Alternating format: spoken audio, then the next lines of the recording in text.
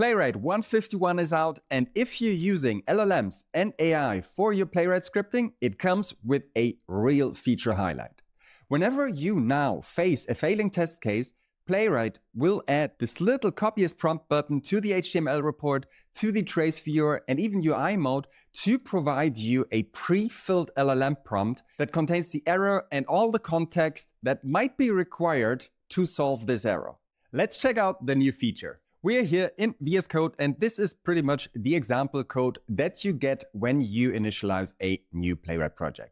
This first test case here navigates to playwright.dev and checks if the page has the correct title. So let's break this and let's see what prompt Playwright will provide when we look into the HTML report. Here we have our failing has title test case. And when we check the error here, here we have this new copy prompt button. So let's copy it and let's see what's included. We could now paste the prepared prompt into Claude or ChatGPT, but I prefer to use Copilot Chat because the formatting is just a bit nicer.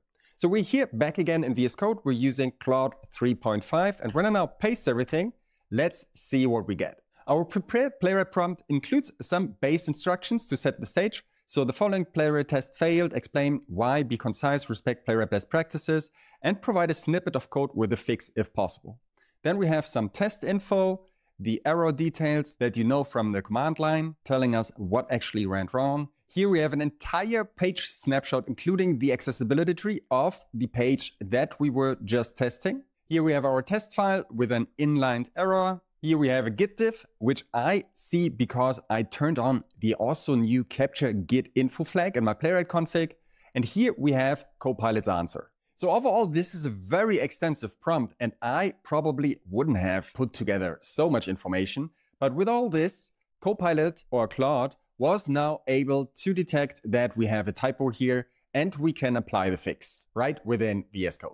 And here we go. All right, do your thing. This looks pretty good. But will this extended LLM prompt now solve all your playwright errors? I don't think so. Feeding a page snapshot and all the playwright context, of course, is very helpful to get good LLM answers and results. But you will be the only person to know if a website or some UI is doing what it's supposed to.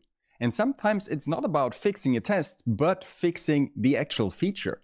To create good end-to-end tests, there's just a lot of context required. And of course, the Playwright team also doesn't know what I want to test. But I will adopt this copy prompt button and I will let you know how it goes in a future video.